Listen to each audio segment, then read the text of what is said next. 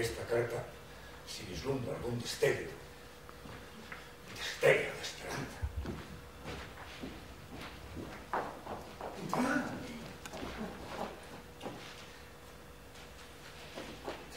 Dejad que os diga una cosa. ¿Sois por ventura, Rosa? Muy querido, hasta el despacho. Pues aquí van dos sonetos. Dos sonetos. De bocacho. Y los dejamos repletos de bonitos perisú. Porque os gustará, supongo. Tomad este y este. Y con este, tres os pongo. ¿La poesía os interesa? Sobre todo si es con crema. En el fondo de un poema van otras tres guionesas. Pollos de nata batida. ¡Ay, qué gesto, qué detalle! Pues como ya estáis servida, podéis comerlo en la calle. Uh, Instante exquisito. Entre todos los instantes seas bendito por traeros hasta aquí paso firme para decirme. Para decirme. Muchas gracias lo primero, ya que en la lucha ayer vencisteis a ¿Quién? A ver. un PL lisonjero, un gran señor con poder obsesionado conmigo. Quería casarme con él para después... No lo digo, el mismo. Bueno. Benditos pues mis enojos. Me batí o hacer feliz, no por mi fea nariz. Sí, por vuestros bellos ojos.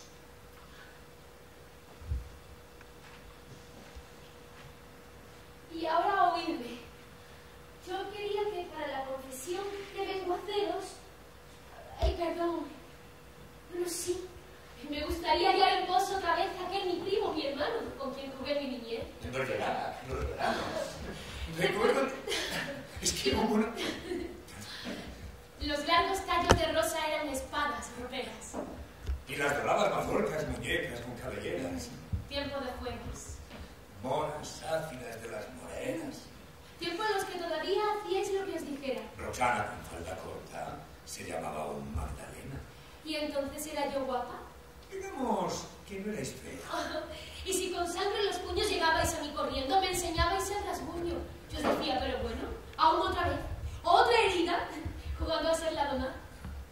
Y así, con voz afligida, ¿qué es esto?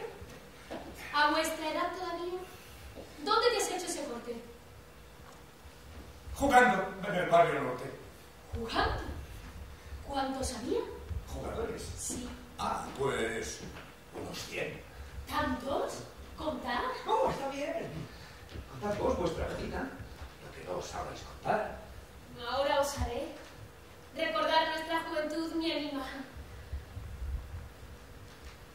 Amo a un hombre. Ah, Y él no lo sabe todavía. ah, Pero ahora lo va a saber. ah. Yo sé que me ama e ignora. Pero ha llegado el momento de decirle soñadora que vive en mi pensamiento. Hasta ahora con candor me amó sin osar hablar. Pero yo he visto labios el amor. ¿Por qué retiráis la mano? Pero estáis.